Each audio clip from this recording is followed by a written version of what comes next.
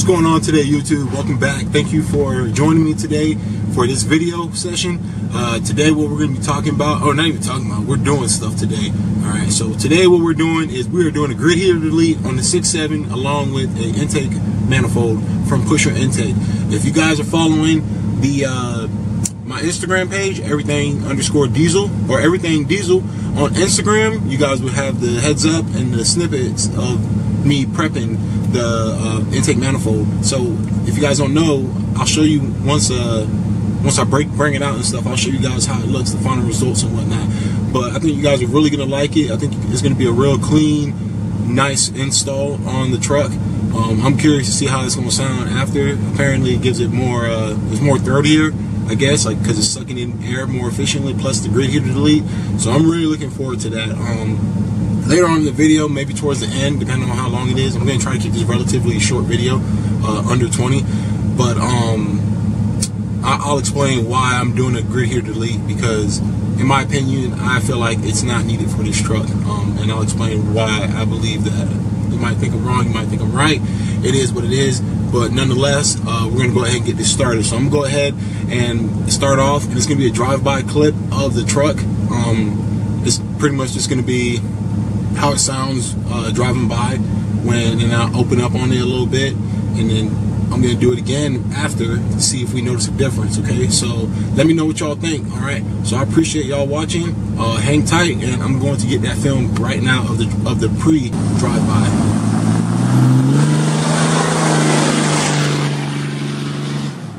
All right, I'm back. Uh, we just got back from doing the drive-by. Uh, real quick before I start working on the truck, I wanted to introduce my neighbor, Shane. He's a cool kid. Uh, he got good handling skills real quick. So with that, I'm going to show you Shane. Hello. What's up, Shane? Show me some of your skills, man. Oh, snap. I wasn't ready. show me what you're working with. This kid got skills, man. Look at that. Oh, snap. Money. Heck yeah. Okay, so I'm back now. So now we're going to go ahead and we are going to start removing all this mess, okay? First thing we're going to start with is going to be the dipstick. Going to get that off. These bolts right here. These are going to be, let's see, uh, the horn bolts are 10 mils and I'm pretty sure these are 10 mils also you're going to be using, okay? So tools, the tools that you need for this job and I'm I'm I'm straight up reading this off paper. You're gonna need an eight millimeter socket, 10 millimeter deep well socket. Uh, well, here I'll show you guys while I'm while I'm reading it. So you need a 10 mil deep well socket, a 7 16 deep well, half inch deep well, uh, one inch deep well socket or wrench, 9 16 wrench, 17 millimeter wrench, 19 mil wrench, 6 millimeter Allen head, flathead screwdriver, razor blade. Uh, the other stuff, Ziplocs and all that, that's kind of not necessary probably just because of fuel. But yeah, that's what we're gonna need. Okay, so I'm going to go ahead and I got all my tools laid out over here. Oh shit! I almost forgot to show you guys the horn. This is it. End product. Tell me what y'all think. How do you feel about the about that gold? Yeah, man, that thing look clean. Put three coats of paint, and then three coats of paint, and then uh, what you call it? uh, three coats of clear. And then the key to get it to hold is going to be bake it, put it in the oven and bake it 200 degrees, one hour, and then take it out. Here is our grid heater delete plate. I got this from Rudy's Diesel last summer. Uh, I'm just not getting around to installing it. And then we got the hardware here for it. So I'm to get you guys set up. I'm to get you guys set up on the pod. And then I'm to start taking this stuff apart and doing the time lapse, okay? And I'll stop within certain sections once I get to a point. That way you guys kind of know where I'm at. But it's pretty simple. Take the horn off. Take the horn off. Take your bracket off. Uh, the fuel rail. You're gonna have to move. You're gonna have to. Two ways you can do it. You can either fully remove it or get it enough removed so you can slide the other plate out. But nonetheless, you're still gonna have to remove all the hardware for the fuel rail bolts mounted to the grid heater. So once I get, the, I'm gonna take the horn out. Once I get the horn out, I'll get you guys. I'll uh, have you guys back up on. All right.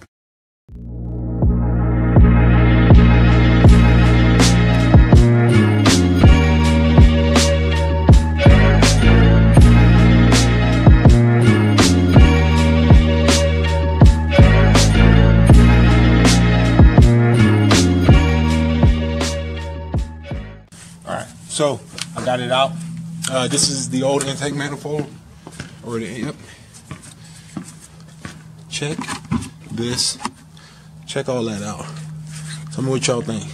Look at all that soot. Now, a lot of this was from before when it had the DPF delete on it, okay? I put all this on here, put that, and this obviously came with the plate. But look how restrictive that is. Um, I'm gonna do a side by side of the new and the old one. So, all right, check this out, fellas. Tell me what y'all think.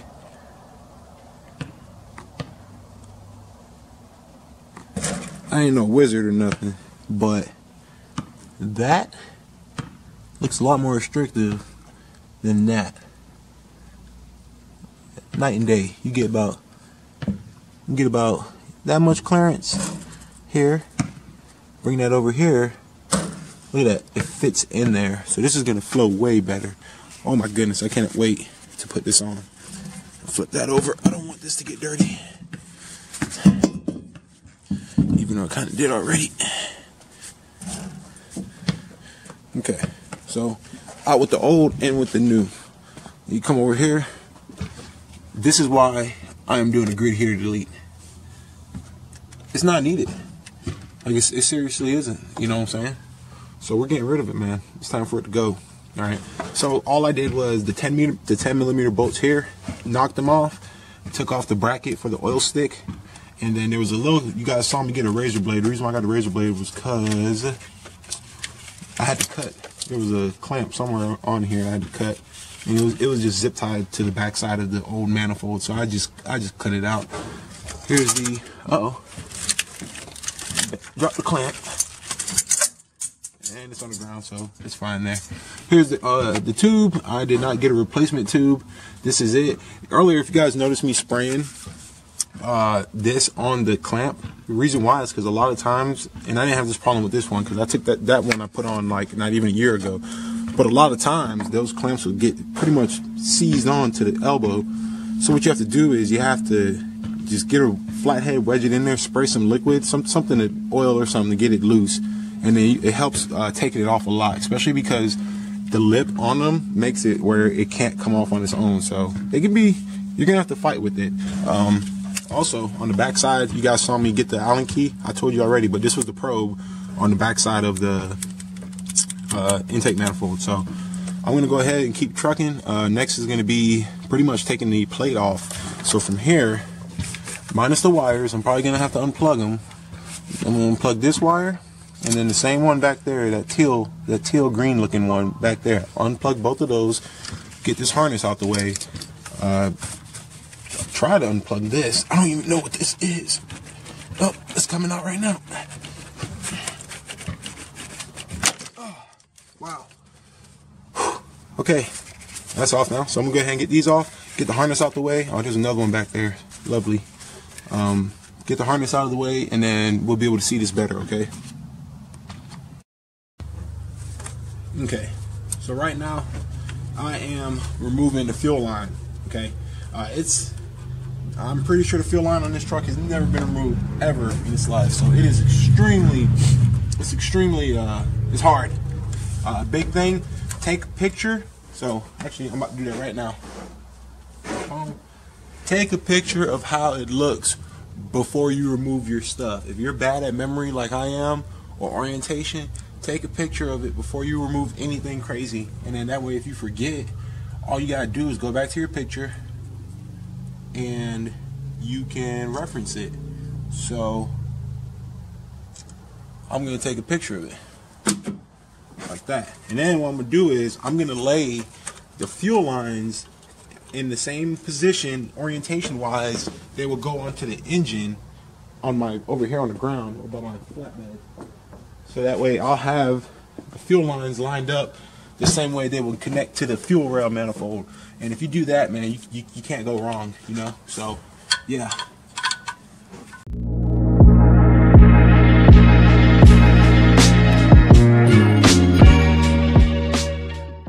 All right, you guys, just a status update. What's going on? Because I know it's hard to see everything from the stand. So real quick, all I did so far was all I did was remove the first two injector lines. Okay, that runs to the fuel manifold. I mean, sorry, to the fuel rail. I mean, technically it is a manifold that runs to the fuel rail back here. Okay, and then what I did is over here, I laid them down, and this that doesn't count. This is for something else. This is the line going from the CP3 pump. And then what I did from there is I just put them in order, orientation of the way I took them off the truck. So this is the number one. This is the number two. You can't get confused if you if you do it like that. Um, I'm gonna go back. I'm just gonna keep going back. And it kind of sucks. I'm not, I'm not even gonna lie. It kind of sucks because these are super tight, and the spaces you're working with are real small. So if you expect to bust your knuckles, you know what I'm saying. So we're doing that. Um, once I get all of them off, uh, I got to take off the banjo bolt here. I don't even know if I had the camera set up. I have to take off this banjo bolt, take that off, pull it back. Well, not pull it, but take it off and, yeah, take the bolt out. And then we'll go from there, okay? So I'm going to get you guys set back up on the pod.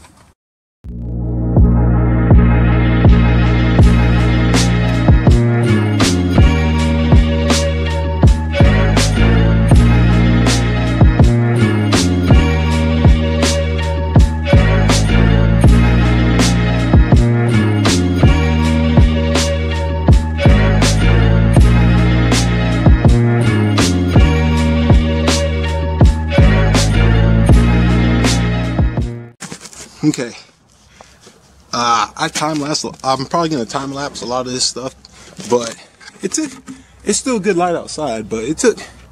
It took a little bit of effort. Um, for those of you that got tw- uh, 5'9", 24 valves uh, and 12 valves, you guys should be happy. You guys are lucky because uh, it's a pain in the ass trying to get to that number six injector line on these six sevens. Now I don't know exactly how it is on the because it's not common rail on on 12 valves, but common rail maybe actually probably the same for the uh, 5.9 24 valves. So I don't know, but all I know is on these engines, that last line back there, have some patience and you better have some forearm muscle because it's no joke trying to get back there. So I'm gonna show y'all what we did so far, and then I'm keep going, making making progress.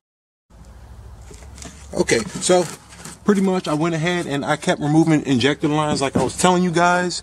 Um, one second, let me get some light back here. Okay, there we go. I kept uh, removing, making progress and removing them. I'm trying to zoom in for you guys. So as you can see, I disconnected all the injector lines. The only one left is that one. And if you see back there, one second, I'm losing my focus. I'm working with one hand. One second.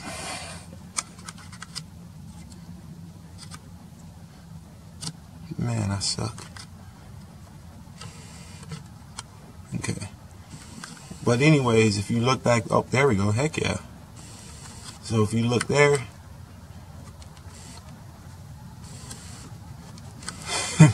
all right, I'm done.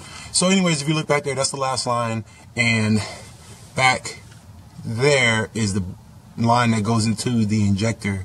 Um, that one was a nightmare monstrous to get out. So you got to have a, the perfect 9, 19 mil wrench and have some good form to get that loose because it was not it was hard. So i'm about to pop this uh, rail off get the plate out the way get the new one dropped in with the gasket. Um let me zoom out. And then we're gonna be good fellas okay? So so far everything's going good. Uh real quick a little note on the uh from the side.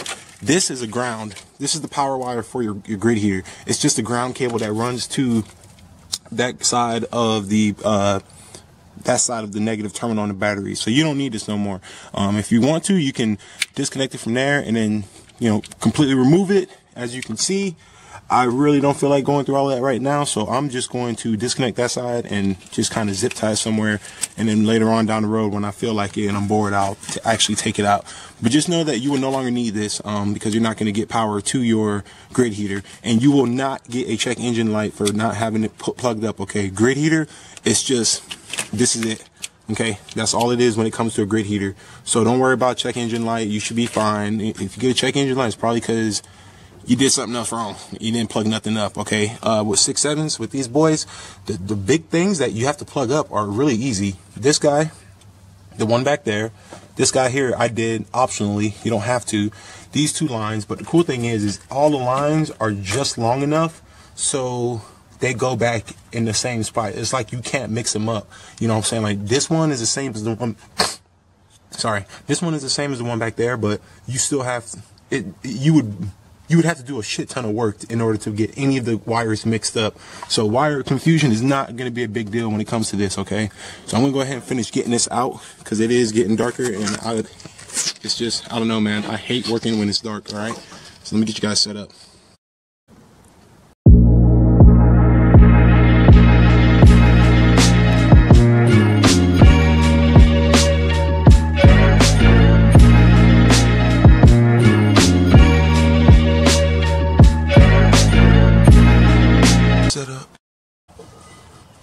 So you guys, I got this out.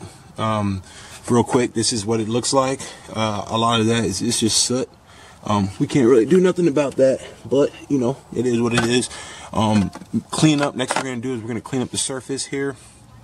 Uh, get that all cleaned up with some brake cleaner and go from there. Okay, make sure you clean up this. All right, and also if you're doing it wild like I'm doing it, because I'm kind of I'm kind of crazy when I do this, but I've been working on fuel systems for a, a little a good bit of time. Um, make sure you don't get any dirt in your fuel rail or in the lines. These boys see we, what what you want to do really is cap, if you can cap or cover it all up.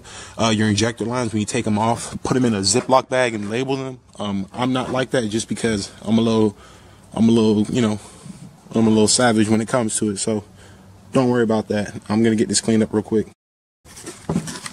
Okay, cleanup's all done. Uh, went ahead and cleaned up the surface. Got everything all nice and good looking. So when I go to put the new gasket on, ain't gotta worry about, you know, not having a good clean surface to mate to. So real quick with this guy, we're gonna go ahead and transfer whatever needs to go onto this one, which in this case is only gonna be this bad boy right here.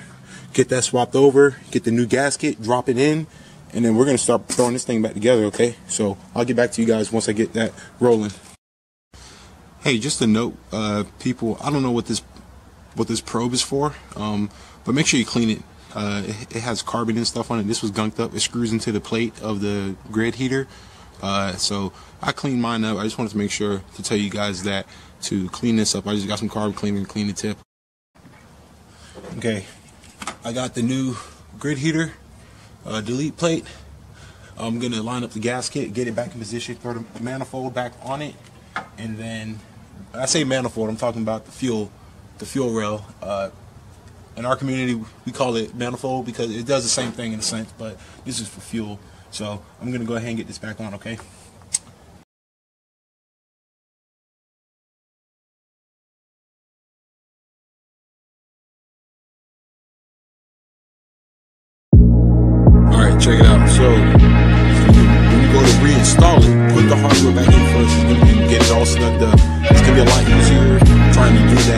Trying to finger it in there when all the lines are installed. so, like I did, I went ahead. That one is there. That it's the only reason why that's there is just to keep it in place. Um, I I use this to keep it lined up so I can line up the other one. So I'm gonna take this one out now put that over here with the other shit. Oh, wait. Oh, damn.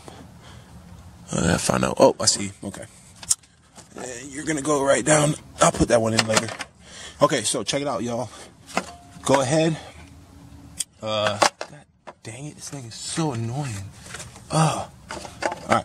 Go ahead and get all your stuff in, lined up. You can run it down, torque it to spec. Um, that's what I'm going to do right now. Get all your hardware in, nice and snug, and then go ahead and start throwing your uh, injector lines on after that, okay? That's what I'm going to be doing right now.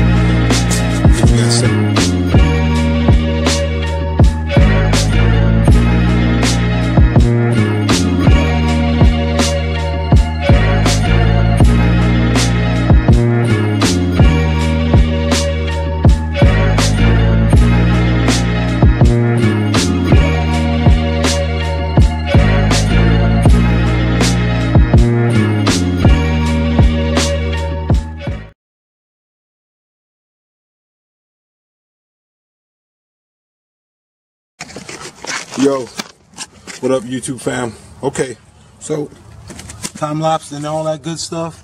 We got all the fuel lines back on. I had to go get my headlamp because it started getting dark. All of them are back on though, to say the least. And it looks freaking fantastic. Okay. I got the banjo bolt back on. Now I got to get the fuel line. The fuel line here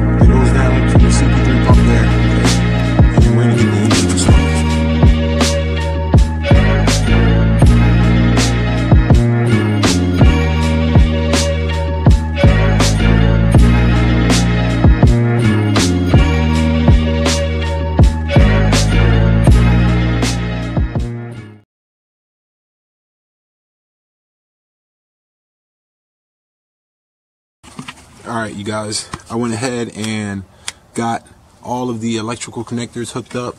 So, second, let me get up here. I went ahead and got all the stuff hooked back up. So I put I hooked up these two, looks like vacuum lines or something. I hooked these up. I hooked up this guy, that guy back there, this guy right here. And if you guys can't see the one back, the one back there, it looks just like this. They're connected to the same harness. Just follow this wire, and it's the blue one back there, or whatever color yours may be. It's the same one as that one. Hook those up. Hook this guy up here, right there, up. Uh, hook that, whatever the fuck that is, connected to the plate down there. You guys see that right there? Yeah, I hooked that up. Hook that back up. Um, yeah. So we're ready to throw the manifold, the intake manifold on, man. You know, so it should be. Oh, I got to put that bracket back on for for that guy, but it should be good. So I'll get that back to you guys in a second once I get in position and get everything set up. Hey, real quick, everyone. So real quick, on I'm not gonna test this one because it's my hands. I got to put my gloves on first. So real quick, on your old one, you only only thing you need to transfer is this guy right here, your mass airflow sensor. Okay, make sure you take that off, uh, clean it up uh, with some. Uh, don't use part cleaner. Um, electrical cleaner would be better. Clean it up, the tip up. Uh, put it on here. It's not going to go on the side for the pusher. These are for your like water meth, whatever injections and stuff. It's going to be on the bottom side, and just put that in there. Um, the new kit came with. No, you're going to reuse this one.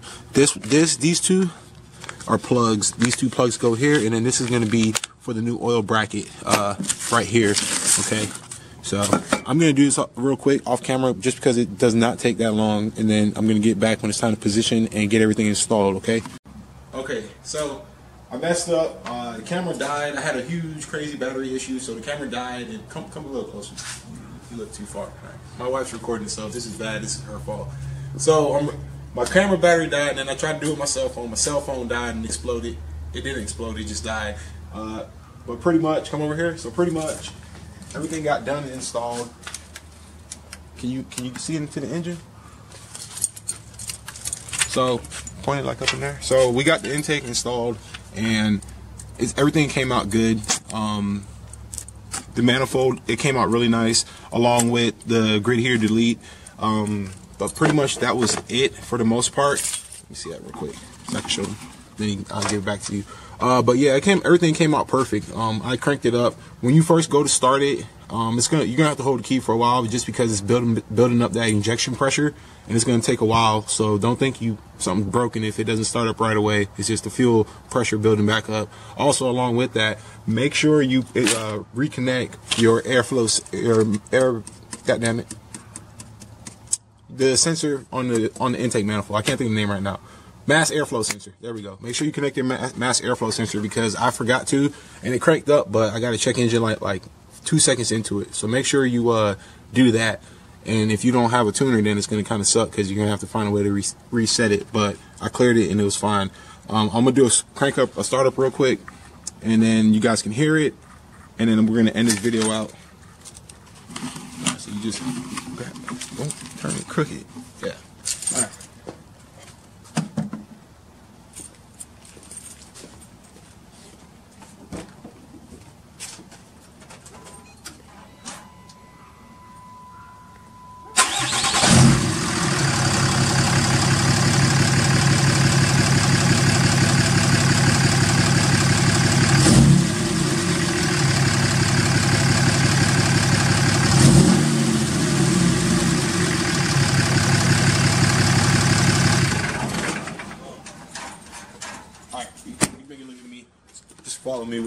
So, all right, so that was just a sound of how it sounds. Uh, it doesn't sound a whole lot different. Um, I haven't test drove it yet because it's dark and it's cold outside. So in the morning or whenever I drive it again, I'm gonna test it and let you guys know if I notice a noticeable difference with it. Uh, along with that, it was an easy install. It just takes time. Uh, there's no video on YouTube showing how to do this step by step. So this is going to be the first video showing that. So I'm pretty excited about that. Um, I got people already commenting off the sneak pics from Instagram saying that they can't wait to see the install video. So if you managed to watch this entire video, I appreciate it and I thank you so much. I thank thank new followers, people comment and staying engaged in the channel. It really means a lot to me. Um, if you like this video, do me a favor and give it a likes and thumbs up because YouTube's new algorithm it's all about likes and thumbs up. Like if you don't get that, you're pretty much gonna stay at the bottom. So we're trying to get to the top. So make sure you do that. Um, that's really it though for for this. It, it, came out really clean. I mean, I got the intake manifold. I put the I put the link in the video. I got it off eBay, and then I got the grid heater delete from Rudy's Diesel, based here out of North Carolina, up in Durham. So everything worked out completely good. Um, any other tips I can think of? Not really. It's all in the video. Just take your time and you have the right tools for the right job. And that's really it though. But I appreciate you guys so much. Um, just making sure there ain't nothing else I'm forgetting. Yeah, that's it really though. So don't forget like the video first of all. Subscribe to the channel so that way you keep getting more content because more content is going to keep coming. Uh, and then also comment in the video. I want to hear what you guys think. So with that being said, take care. Peace out. Uh, God bless.